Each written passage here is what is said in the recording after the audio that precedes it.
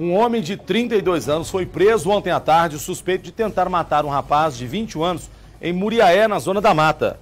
Segundo a polícia militar, o suspeito foi preso no bairro São Joaquim, na porta da casa dele, horas depois de ter cometido o crime. Ele estava na rua quando viu a viatura, saiu correndo. Ele foi alcançado pelos militares e levado para a delegacia. Ainda de acordo com a PM, a tentativa de assassinato foi no fim da manhã de ontem, no bairro Joanópolis o homem teria atirado na vítima por causa de uma desavença entre os dois.